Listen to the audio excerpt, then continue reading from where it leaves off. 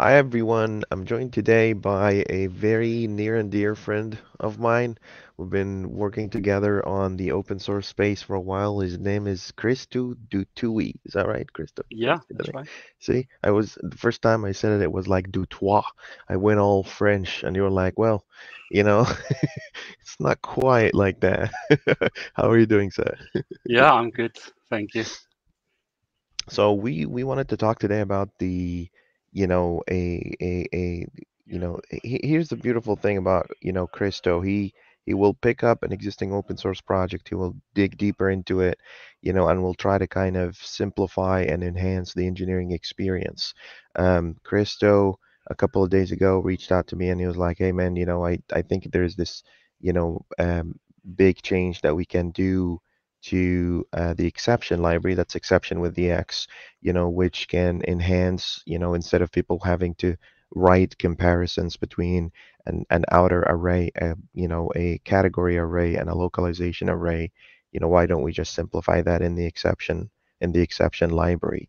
Um, so let me let me share the screen here about the open source project so people can just see you know the good work they've been doing there sir and then we'll we'll discuss a little bit about the details around that and future enhancement and future improvement.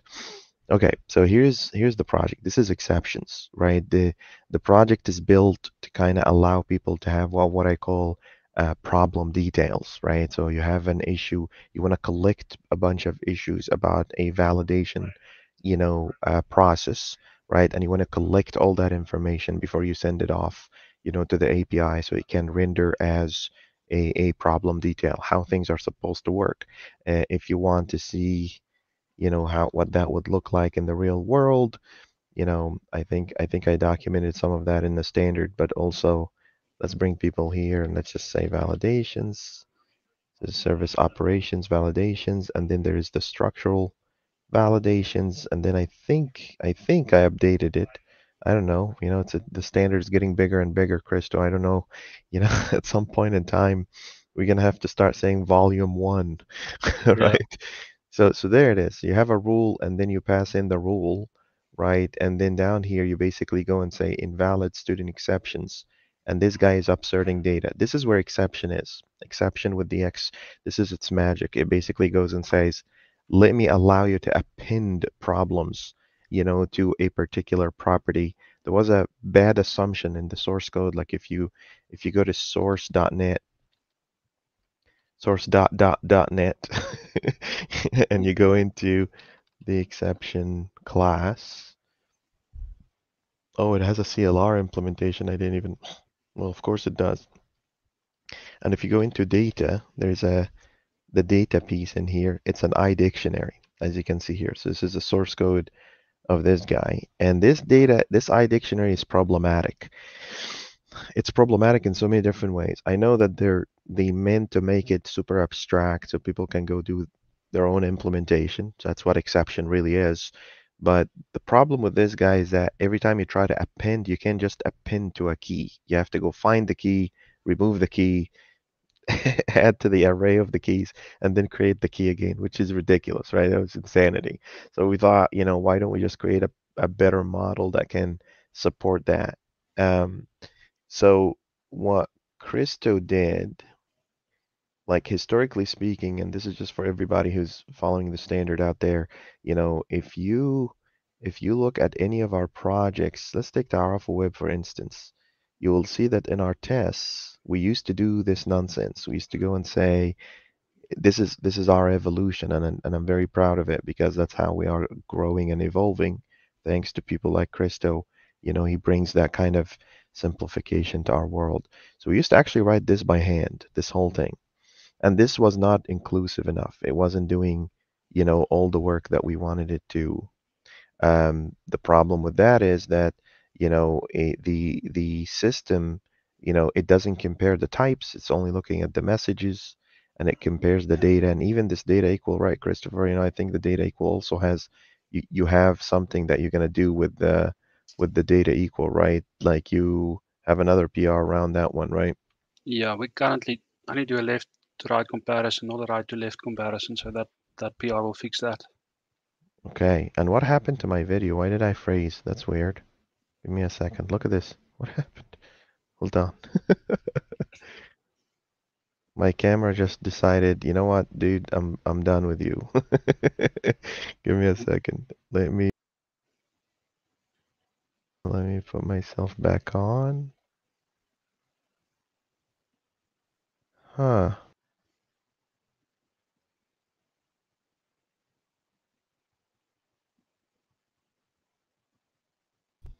Can you see me now? Can you hear Yeah, me? that's better. Yeah, I don't know what happened there, you know, but anyway, so um so what was I saying? So okay, yeah, so so you had this. So what did you do, Christo Christo? You know, what what was let's go back to your change here. Uh here's exceptions. And here is your pull request. I, I actually, you know, like, you know, Christo actually had that had PR ready 11 days ago, but we just kept going back and forth, you know, until we figured out, you know, the way to go. Uh, let me open this in code review mode just to kind of help people kind of see what's going on. Is is the code visible from your side, Christo, by any chance? Uh, I just, just see a black block with show all commands. It's loading on the left pane. There we go. Yeah, it's getting. Coming. Okay, there you are. So this is exception extensions.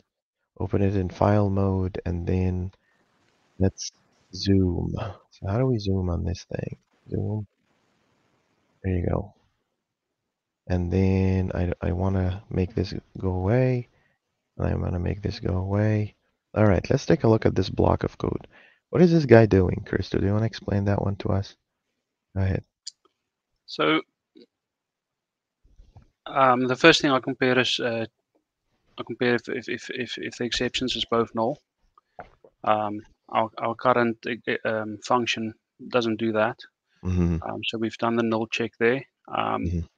Then if, if, if, if any one of them is, is, is um, instantiated, we do the next bit of checks where we go on to the type check if, if check with the same kind of extension. Oh, you're getting the Uh, full exception. name.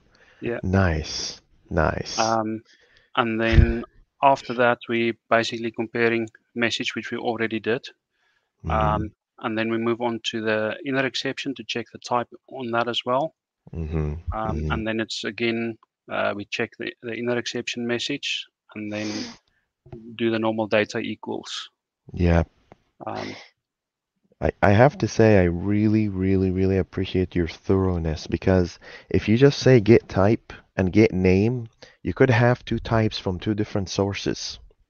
I didn't even think about that one. See, that's that's experience right there. I I you know, you could have you could have student service exception from two di completely different assemblies, and that's not what was meant. Oh my God, this is this is something else.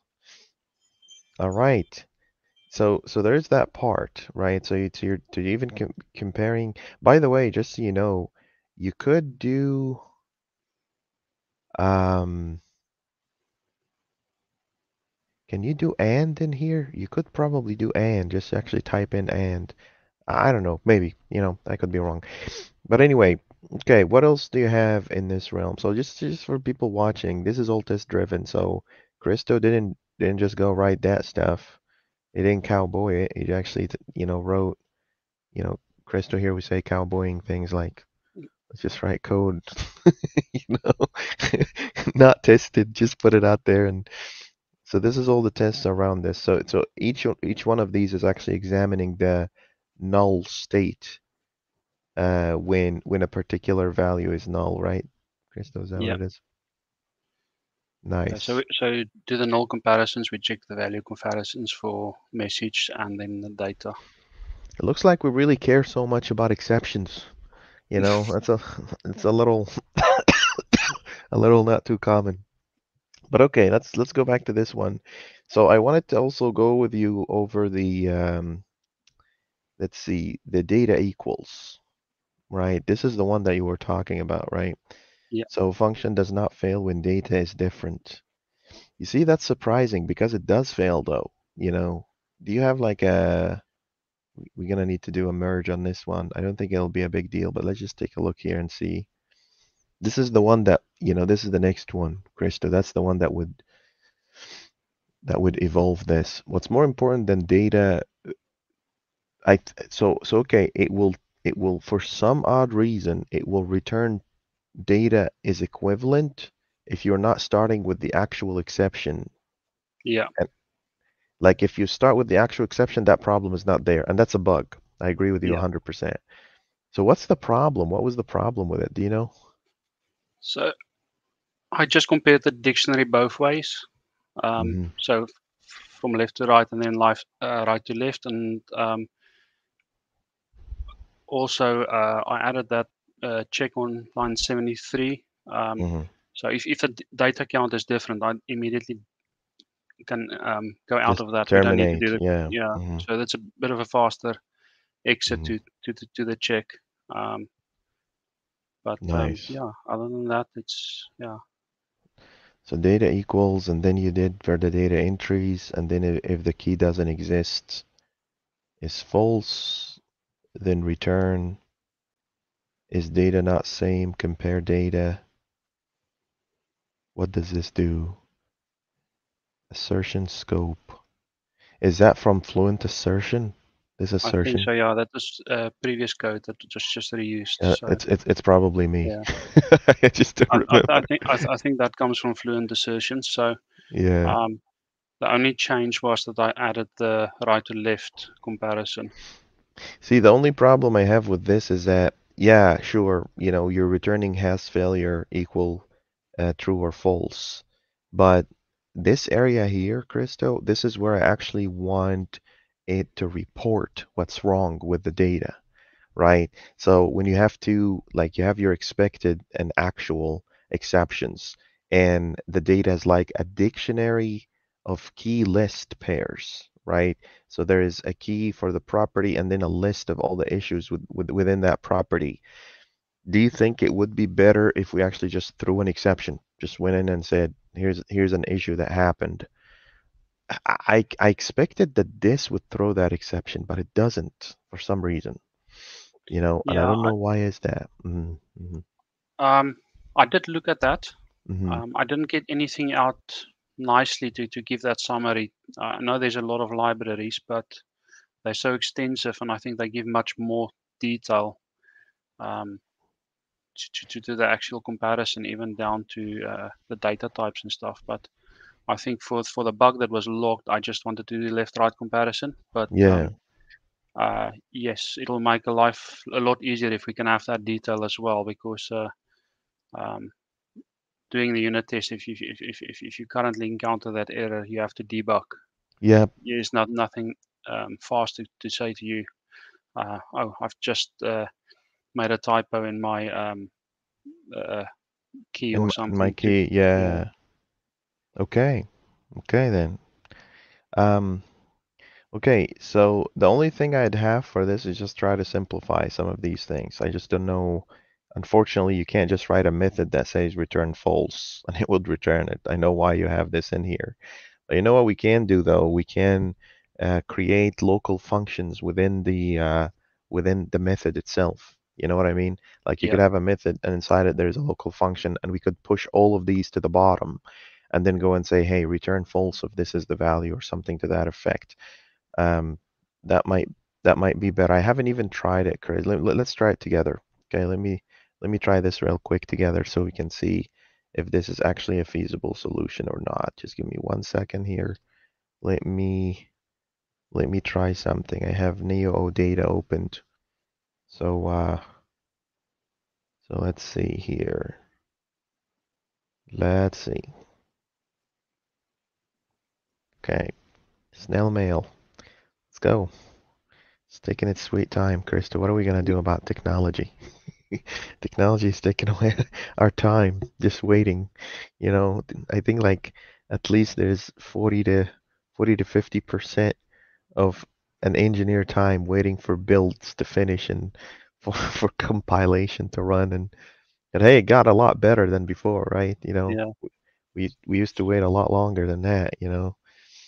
I remember having I worked at this company where we had to kind of wait for the build and the build would take like three hours.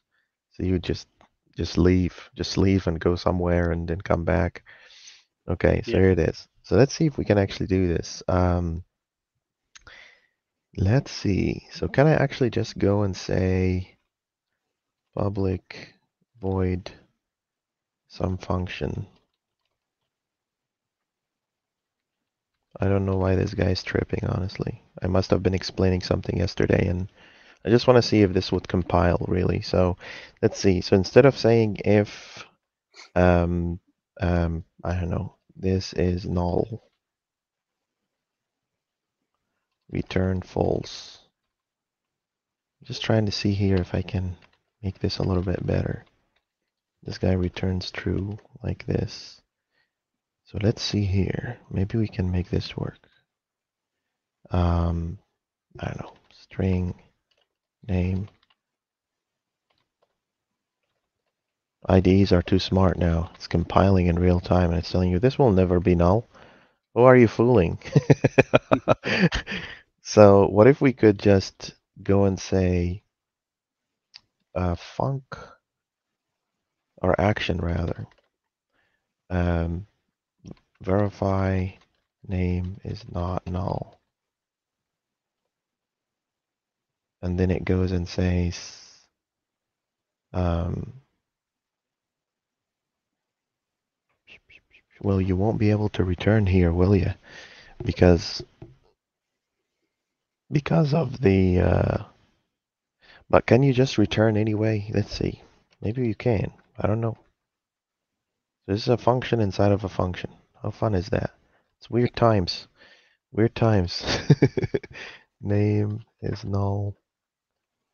Return false. Can we actually do that? Nope, it won't let you because it has its own return type. Right. Mm. Damn it, this thing is ugly. I was hoping we could, I, because I, I, I run into situations a lot where you can't escape this situation here. Right? The best thing you could do is to throw an exception. But you don't want to throw an exception. You just want to return a value and Yeah. exit early.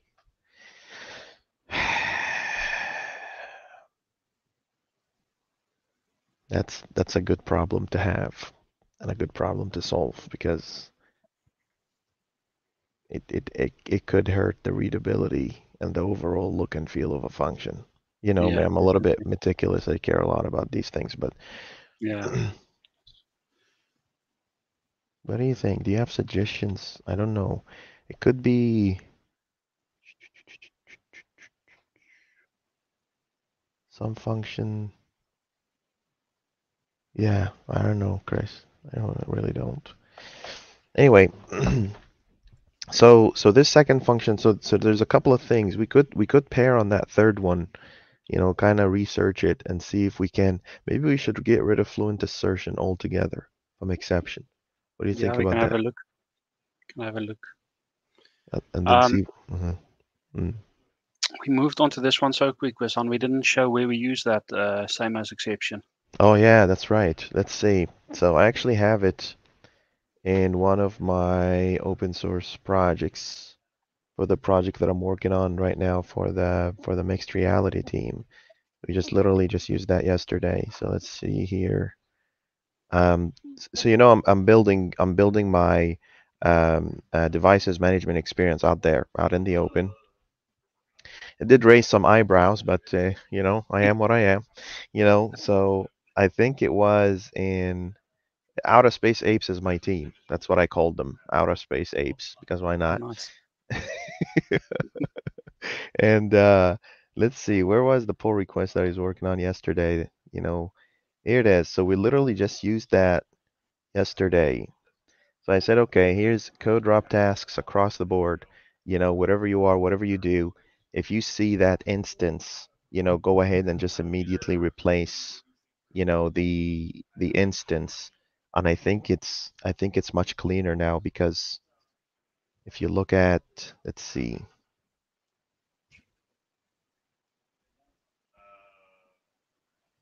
um, uh, so so we're we're pulling bunch of labs, like bunch of devices from the lab to test our HoloLens devices and stuff like that. That's just high level, but this is it. Right here. So this is how you use it basically. You would just go and say, uh, let's see, where's where's the zoom in function? This is how you do it really. You just go here and say, uh, there it is. Same exception as. It's beautiful, Chris. Mm. It's really, really good because now you just you don't have to worry about and it, and it makes it easy for me as well to just go explain it to people. Yeah, so I think like, so. I think that function we need to put in exceptions as well. But um, if you go down to that test where where we do the test for that, I think I've done an extra extra Where? line. where is it, Uh, Chris? In the in the exception library?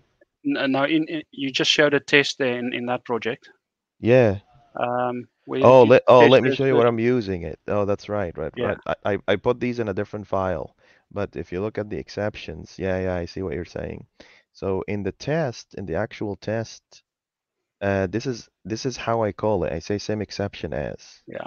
So, what were you so, thinking? Uh-huh, so ahead. I, I do it a bit differently there as well because Mm. on that step, um, it feels to me we only test the output of the logger. We don't check if, if anything else is, is wrapping the ex- exception maybe after the logging bit. So what I've done in my test is on line 37, Mm, I put the output of that assertion, that exception in, in a variable. mhm. And then right below it, I do actual exception, same exception as. Do you have an uh, example? What does that look like? So um, yeah, I could I could try it in one of my projects right now with you if you want. yeah, yeah. If you, if you can bring that up, then it, it, it'd be useful. Um, Let me let, let me bring it up. Even that project right there. If it's Oh, I see why you're doing that. Because you're saying just because you're logging an exception with a certain inner exception, it doesn't mean that that's what you're throwing. You know, exactly. yeah. oh, dude, you're so smart. You're so clever. I have to tell you that. You know, this is, damn, Chris, like, like you're basically saying just because you're logging it, it doesn't mean that that's exactly what you're throwing outside of your function. Do you Yeah. then have to, do you then have to go and say, let me, let me pull the solution here. Do you then have to go and say, this is my, um, um, let's see, what was I saying? Do you have to say return the exception that was thrown outside of the function? This then assertion verify- does it for you. Yeah. So so you, we just we just do the verification bit. So so on that line where you do the await, the output of that await is is the exception being thrown. Hold on, this thing is tripping. One sec. If I can only show you how many things running in this screen. Let's see. I think I think I broke the whole thing. There you go. Can you see my screen now? Yeah, it's coming up. Okay, let's take a look here. So you're basically saying uh, on your, let's see, on your exceptions retrieval, do you just go and say, give me that uh, lab view dependency exception? Lab view, So made that actual Dependency. actual exception. yeah, so that's your actual exception, right? So that's actual, actual lab view dependency exception. And then you go take that guy, and I'm assuming that you're going and saying, give me, So so on line 40, you can just uh, paste that exception, same as uh, exception as, and then it will be the uh, same one as, as in line 50, uh, expected Ah. lab dependency exception. yeah, So I still think there's scope to move the um, function that we do in the in the login, so we don't have to repeat that in every test. Also to the exception library, but um, this one this one just adds that extra benefit for us for testing that the exception thrown is actually what you're expecting to throw. That nothing happened after the logging bit in the exception handling. I wonder, do you remember how we were talking about if we could make this should be equivalent to, right? But that that's us hijacking the API of Fluent assertions. Yeah. And I really don't know, like, so this is, let me tell you why this is important. I can't go in some places and say actual should be equivalent to expected, regardless of the output. Yeah. And that actually, th- that stuff that you just talked about, I think that changes everything because I would, I would start changing how my exceptions are. And where have you been? Yeah, just give me 10 minutes, okay? 10 minutes.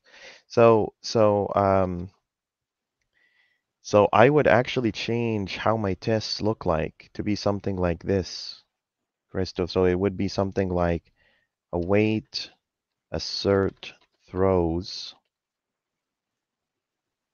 And that's my function here. Because that's actually what we're testing. That's your actual return type in Yeah. here. And then I would take that guy out. I'm trying to, so you're adding more code and I'm, I'm trying to remove more code. Like you're adding code and I'm removing code. Yeah, no, that's fine. And I think that's okay, right? So, so that would be actual, and then you're basically, I'm missing something really, really small. Let's see. Oh, throws async.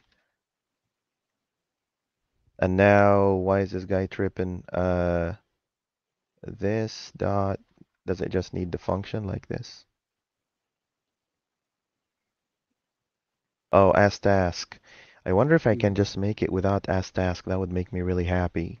But basically, see now that statement's too complicated.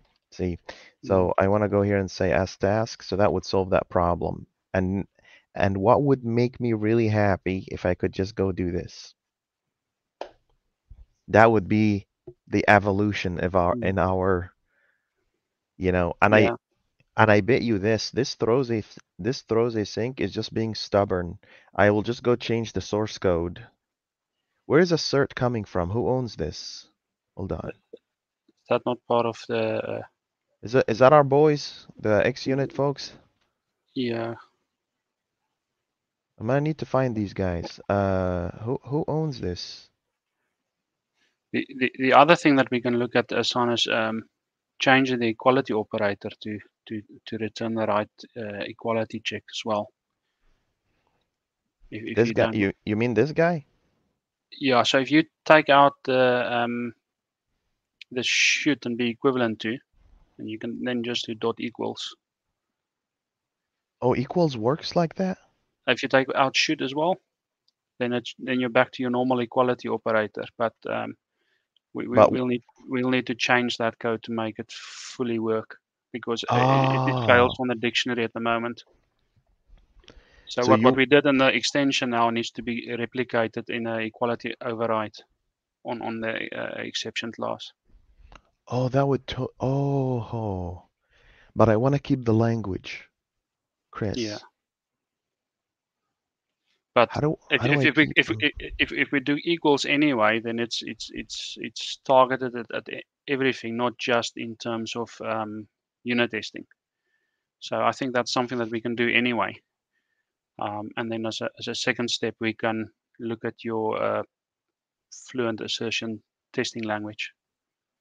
like as a step, right? Yeah. I like that. I like that a lot. I think I think this part here, so let, let's go back to the actual same exception as. I think just just for people who are watching us to understand, I'll explain what what Chris is just saying because we're the reason why we're cutting some things short is because we're having a lot of discussions on Discord behind the scene, but I don't expect the person watching the video to actually understand, you know, uh, you know, all of the context behind this. What we're what what what Chris is really saying is saying just because you logged the right exception with the right inner exception, that doesn't mean that that's what you actually threw, right? This test is passing here because we're doing the right thing. But check this out. If I go to retrieve lab view and go to um and go to this guy, what was I testing? The dependency? That that create and log exception. Yeah, you were just saying. Yeah. So what what he was basically saying is that you could you could just return literally just this guy in here and new lab view dependency exception. So he found he found a gap in our system, right? Because I can literally go here and say, oh, this is any exception in the world. So I did log the right exception, but I didn't actually return and throw the right exception, right? So if if we didn't do that part that Chris was just talking about, let me go control minus, if I just go here, let me revert all of this just to, just show people what, let me show people how smart you are. You're you're you're you're a very clever guy. You want to learn that. So if I do that change, my test deal will still pass. Watch this. I think, Chris, I think it'll still pass. Yeah, because we don't. Yeah, look. Here's the test. Watch, watch, watch. And it passed. Why? Because we fooled the test. He found he found a hole in the in the test. Oh my God. You know what, man? You know, I am very lucky to find you. I want you to know that, right? So, so you see now, if we add the the assertion that Chris was talking about, which is lab view dependency exception, lab view dependency exception, which is actual lab view dependency exception. Now, if I go here and say actual lab, use the same exception as expected lab view exception. Now this test will fail. Why is that? Because because Chris is smart. That's why. A lot of code drops there now. a lot of code drops. It'll just ripple. You know why? You know, you know, I was just talking to my team about this the other day. I was saying I'm I'm favoring redundancy for the sake of building that muscle memory for engineers, right? So Mm. you're gonna do it like 20 times. Now it's stuck in there. It's like out of the box free training that people are getting, you know, to always remember to do that particular particular piece. Wait, did this thing pass? Hold on. Lab view expected. Wait, why did it pass? Let's see. I think we found a bug in a bug. Let me run all the let me run all the tests sometimes. Sometimes the system is a little trippy. Let's see. It's gotta fail. Whoa, Chris, what happened? So this is the actual exception that's coming out from here, and we're comparing it to expected.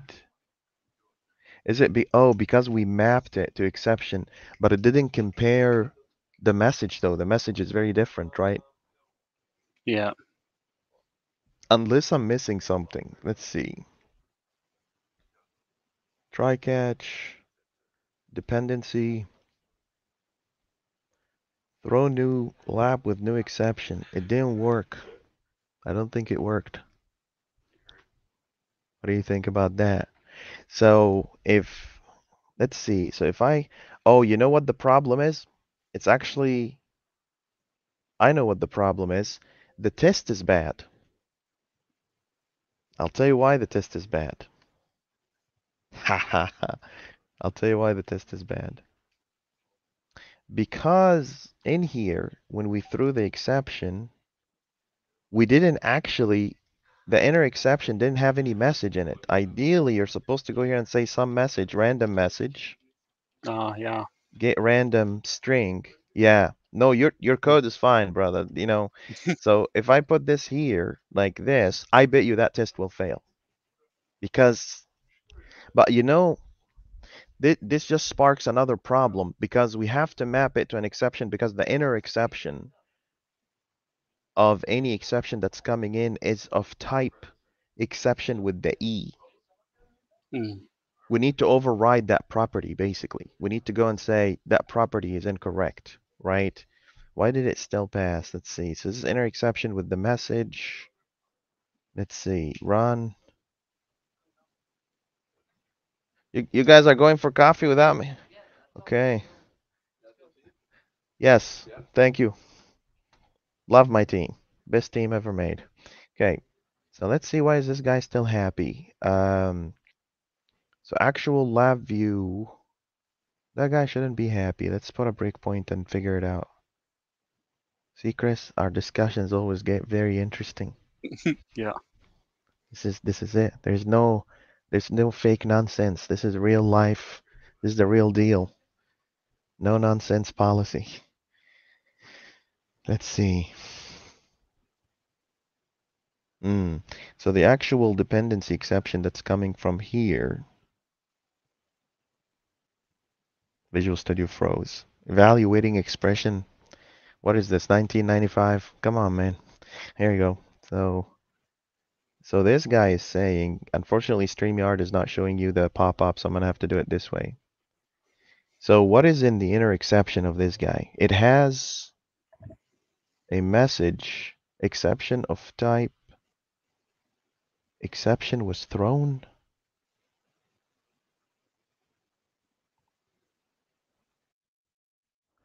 We might be actually missing the entire No, this is the actual exception, right? So the expected exception should be should be the one with the message. Yeah, there it is.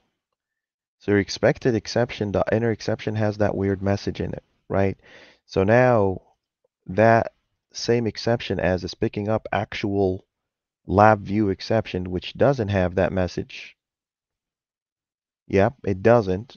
And this guy does. And do, do you know why this is failing, Chris? This is not failing, Chris, because we need to say this. Should be true.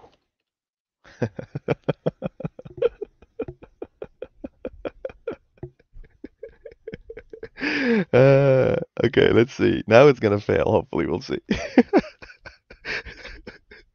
you know, the one concern that I have though is that our mapping to Xeption with the X is making us lose the type, my friend, which is not a good thing. There you go. That guy is failing now, right? This is why I wanted it to be should be equivalent to, so it would do that little stuff for us. Maybe we should just we should just add another function, extension function. Chris, you know, maybe that will work. The the one concern that I have is that it will it will do a ambiguity between fluent assertions and the actual you know and and our function. So just just for the people watching here's one more round. If I go back here this is this is how meticulous Chris is. That's that's the, the beauty of his code. If you go back into here and if I go and say no actually throw the actual exception with the with everything in it and I run this guy fireworks. Let's go. Let's go. There it is. Right?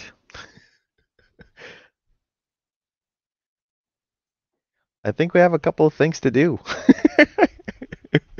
Let me so just like just like you know you know mature you know engineers should you know we will go back to our um our repo and just take some notes. What do you think about that? Exception. There we go. And uh, issues. Foundations. Introduce. Should be equivalent. I never get that correct. Somehow. Just introduce it somehow. I don't know how. You know, so that's one. And then another one, uh, foundations, remove, um, change the inner exception type of exceptions from exceptions to exception. And this one is tricky because sometimes the exception type that's inheriting with the X may or may not have an inner exception that's with the X, but we don't want to lose the type. Like the problem with this guy is that we, we lose the type immediately, right? And it becomes problematic. What do you think, my friend? You know, see, a little session like this is a wild ride. You never know. You know, I learned something from you today. You know, I learned a lot actually, you know. I think we need to tighten up our our tests with what we have today a little bit, you know, just to make sure that um, that we're not. I can't believe, dude, you found this. You found this you know, uh, gap in our in our tests. This is fantastic. This is fantastic. This is how the this is how the standard grows. just for the people watching, it's not just coming from my head. Look at this guy sitting all the way all the way over there. You know, Chris, you, you told me you're originally from South Africa, right? But you're living in England, right? what happened to your voice? I lost you. Sound is gone. Hello. Oh, now I can. Oh my God, have Yeah. you been t have you been talking all this time and I haven't heard anything? I don't know. I- I've got this clip here and uh, uh, it must have bumped on the seat. My dear So- friend. Uh, what So were I you think saying? the other issue we need to uh, add is, is is the cleanup of the data equals. We wanted to do That's that. right. That's right. That's true. Good catch. Let's go here. No issue. Code rub. Or wait, we need foundations report issues on data equal, right? Yeah. Equals and and clean it while you're at it. That's it. Have you ever seen anyone care about exceptions as much as we do? They're important. This is how you know what your system is doing. In fact, actually, I think ignoring exception is the most arrogant thing an engineer could do. Because they think, oh, a problem will never happen to my system, so I shouldn't invest any time and effort whatsoever. You Mm. know, ah, exceptions, they're bad. My dear friend, thank you so very much for your time and for your energy, for your brain power and all the stuff that you do, you know, to kind of push this whole community. So see your contributions are reaching everywhere, you know. As soon as we roll up a new version of Xeptions, it just goes everywhere. I don't even know, you know, I just published it literally yesterday, was it, Chris? Was Yeah. yesterday night, and I don't know if, eh, you know, sometimes NuGet takes a little bit of time to make things kind of catch up, but let's just go here and see. So Xeption with the X. Pretty cool name, huh? Yep, you already have 52 downloads since yesterday. Sure. Yeah. So I didn't continue. I, I didn't know it. I, I didn't know it hit 23,000. To be honest with you, it's almost catching up to RESTFulSense. You know, RESTFulSense is the one that's exploding. 54,000 downloads. That's a pretty good deal, right? Yeah. Nice library. I enjoy that one. It's a pretty good library. You know, we're gonna add. Uh, hey, b before we before we split, um, I was gonna ask you a question because I, I really trust your opinion. You know, should I add outside of the box for free caching in RESTFulSense, or is that outside of the scope of this library? It could be a nice feature. Right? Like You're you could, thinking about Redis or uh, something like that. yeah, you could you could use external caching or you could use in-memory caching. if a certain app is bombarding an API, you could just flip up an option that says enable caching. So instead of like if you're hitting an API 20 times in one second, Mm. may as well just enable that feature so you don't destroy someone else's DDoS, someone else's API. Obviously, they, they need to throttle, you know, from their side, but what do you think? Do you think that's worthy, or should this be an extension of RESTFulSense? Like it's RESTFulSense dot caching, and you, you need to add that as another library that would allow you to have that capability. What do you think Uh, about I think it, it'll be good as extension library. Okay. Um, almost like uh, um, uh, what is it you did for? Um, I can't remember now. The the, the Is it exceptions for the identity? yeah Yeah. And also uh, Brian Parker, he did the uh, WebAssembly for RESTFulSense. So there's RESTFulSense and there's RESTFulSense WebAssembly, you know, which basically allows Blazor applications. Uh, you haven't dabbled much with the UI yet, Chris, did you? No, I, I I need to find time. We'll drag you there. Let's drag you there.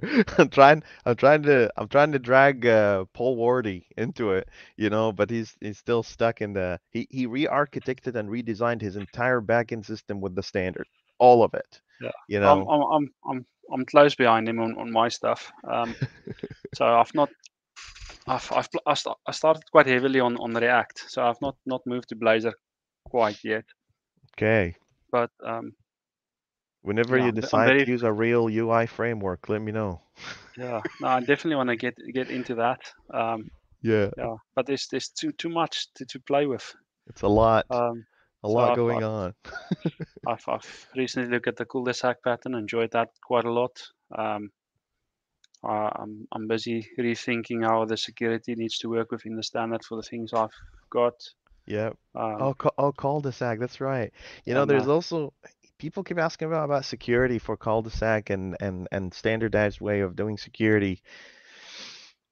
I'm exactly in the same boat where you are. You know, it's just prioritization. Like I'm trying to roll out tracing for people.